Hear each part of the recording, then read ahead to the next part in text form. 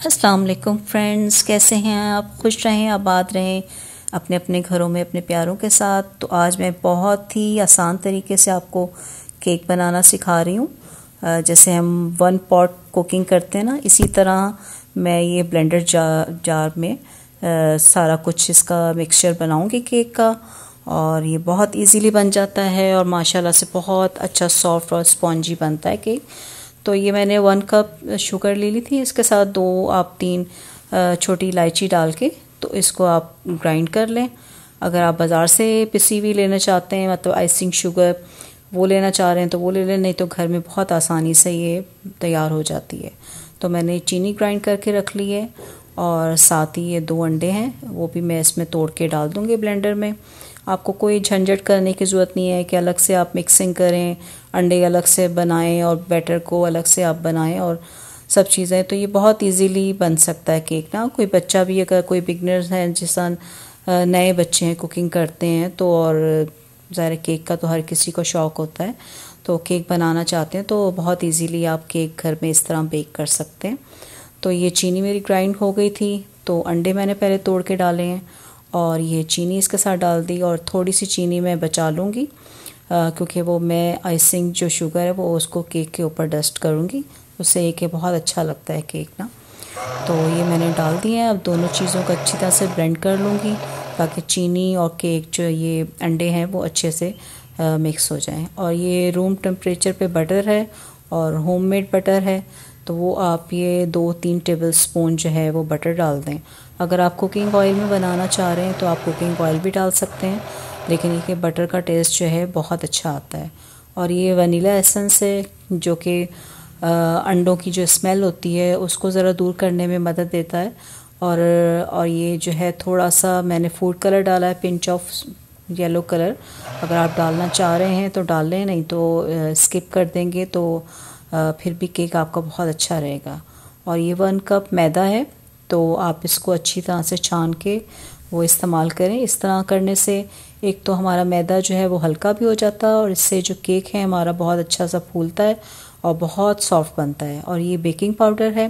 मैंने सब कुछ स्क्रीन पे मेंशन किया हुआ है। आप साथ साथ देख भी सकते हैं कि मैंने कितना बेकिंग पाउडर ये वन टेबल स्पून मैंने बेकिंग पाउडर इस्तेमाल किया है इसमें। और पिंच ऑफ़ सॉल्ट भी है, क्योंकि इससे ज़रा जो हमारी मिठास होती है वो बैलेंस हो जाती है। अब अब सब चीज़ों को जो है उसमें छान लेंगे अच्छे से, क्योंकि इसमें कोई भी अगर पार्टिकल्स हैं तो वो निकल जाएँ। वैसे तो ये बिल्कुल साफ़ सुथरा मैदा है, इसमें कोई ऐसा गंद नहीं है कि जो छानने से, लेकिन फिर भी हम इसको छान लेते हैं, क्योंकि हमारा थोड़ा शक दूर हो जाता है, और इससे ये कि मैदा हमारा हल्का भी हो जाता है। तो ये देख लें, अब ये बिल्कुल क्लियर हो गया है और अच्छे से हमने तीनों चीज़ों को मिक्स कर लिया है। तो अब मैं इसको भी थोड़ा थोड़ा करके ब्लेंडर में मिक्स करती जाऊँगी। थोड़ा थोड़ा ब्लेंडर को चलाऊँगी और साथ साथ मैदा डाल के इसको मिक्स करती रहूँगी। तो अब ये सारा मैदा मैंने इसमें डाल दिया और इसका अच्छा सा स्मूथ सा हमने जो है वो बैटर तैयार करना है। और अब ये मैं मटर बटर मिल्क बना रही हूँ। इसमें हाफ़ कप मिल्क ले लिया है मैंने और और थोड़ा सा इसमें विनेगर डाल दिया है ताकि ये हमारा बटर मिल्क तैयार हो जाए। और ये डेसिकेटेड कोकोनट है। अगर आपको पसंद हो इसका फ्लेवर तो आप ज़रूर डालें, क्योंकि इससे केक जो है वो बहुत मज़े का लगता है। तो ये भी आप दो तीन टेबल स्पून डाल सकते हैं जितना आपको अच्छा लगता हो। तो ये इसके साथ भी आप इसको मिक्स कर लें ताकि जो कोकोनट है वो भी अच्छे से इसके साथ मिक्सअप हो जाए। तो ये सब चीज़ें मैंने डाल दी हैं और जब ये हमने मट बटर मिल्क बनाया है आ, वो भी इसमें मिक्स कर दें। ये इससे ये कि हमारा जो केक है वो बहुत अच्छा सा सॉफ्ट बनता है क्योंकि जब हम विनेगर इस्तेमाल करते हैं तो वो इससे काफ़ी केक जो है फ्लफ़ी सा बनता है। तो ये भी अच्छी तरह से आप मिक्स करें और जिस भी आप पैन में मोल्ड में आपने केक बनाना है उसको पहले से आप ग्रीस कर लें और बटर पेपर लगा लें। मेरे पास इस वक्त बटर पेपर नहीं था।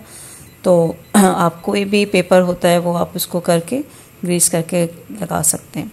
तो ये मैंने इसको एयर फ्राई को 10 मिनट्स के लिए प्रीहीट करने के लिए रख दिया है और इतने में हमारा जो मोल्ड है, उसको हमने ग्रीस करके तैयार कर लिया है और अपना बैटर जो है फिर उसमें डाल देंगे।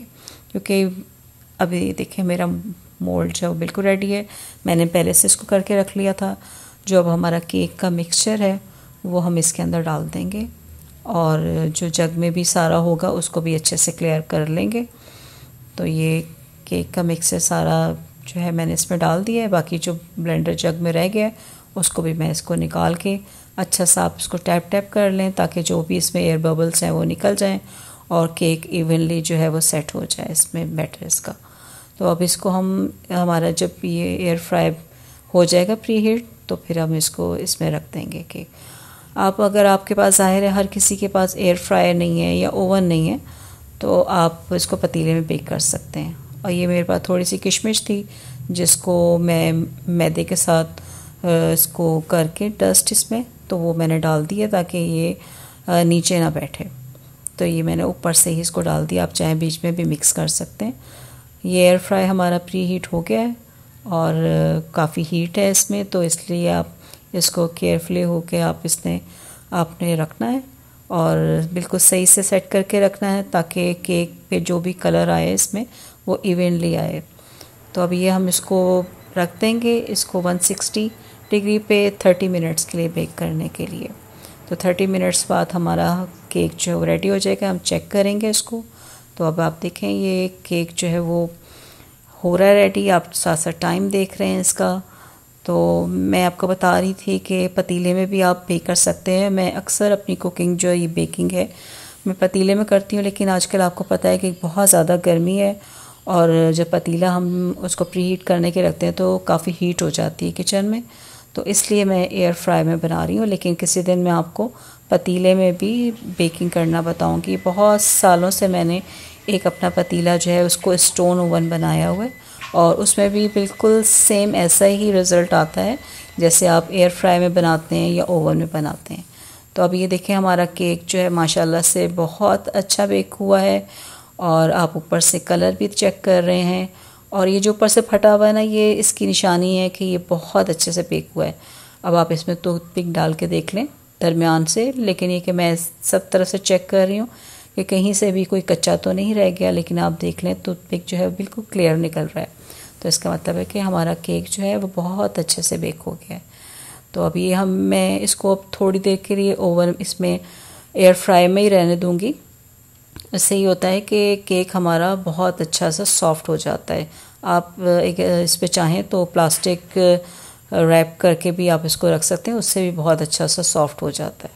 तो अब ये केक में इसमें से मोल्ड में से इसको निकालूँगी और फिर इसको हम अपनी प्लेट में इसको टर्न करेंगे। तो ये सारी तरफ़ से आप छुरी के साथ इसके किनारे जो हैं, वो उसको छुड़ा लें और फिर ये अच्छे से आराम से प्लेट में निकल आएगा। तो ये गर्म है तो ज़रा आप ध्यान से इसको निकालें। और ये मोल्ड जो है, वो लैदा हो गया और मेरे पास बटर पेपर नहीं था तो मैंने ये पेपर ही लगाया है। तो अब आप इसको जो है, वो रिमूव कर दें और नीचे से भी अच्छा सा बेक हो गया है। और ऊपर से तो आपने देखा है कि कलर ज़बरदस्त आया है। और क्योंकि हमने फ़ूड कलर डाला था तो उससे ये कलर इसका बहुत अच्छा लग रहा है केक का। ऊपर से जो हमने आइसिंग शुगर रखी हुई थी बचा के तो वो ऊपर से आप डस्ट कर दें। तो इससे केक जो है बहुत अच्छा लगता है। और आपको पसंद हो अगर आइसिंग शुगर के साथ आप डेसिकेटेड कोकोनट डालना चाह रहे हैं तो वो भी आप डाल दें। अब मैं इसके पीसेस कट करूँगी, फिर मैं आपको दिखाऊँगी कि कितना सॉफ्ट और स्पॉन्जी बना है। तो माशाल्लाह से हमारा केक बहुत अच्छे से बेक हो गया है। आप भी इसी तरह केक बेक करें और बहुत इजीली है बनाना इसको। बस आपने ब्लेंडर जग में सारा कुछ जिस मैंने किया उसी तरह करें और बिल्कुल केक आपका ऐसा ही सॉफ्ट और मज़ेदार सा बनेगा। आपको आज की मेरी रेसिपी अच्छी लगी हो तो ज़रूर इसको ट्राई कीजिएगा और मुझे बताइएगा कि आपका केक भी मेरे केक जैसा बना या मुझसे भी ज़्यादा अच्छा बना। तो ज़रूर ट्राई कीजिएगा। और ये देखें मैंने एक पीस कट करके आपको दिखाया है कि कितना मज़े का लग रहा है, कितना अच्छा है और इसका कलर कितना अच्छा आ रहा है। और आप ये देखें कि कितना सॉफ्ट है स्पॉन्जी है कि देखें आप इसको जब इसको प्रेस करेंगे तो ये देख लें कितना मज़े से ये प्रेस हो रहा है, कि इतना सॉफ्ट है कि बहुत मज़ा आएगा आपको खाने का। तो आपको मेरी रेसिपी अच्छी लगी हो तो ज़रूर ट्राई करें। और अपना ख्याल रखें। ओके टेक केयर अल्लाह हाफिज़।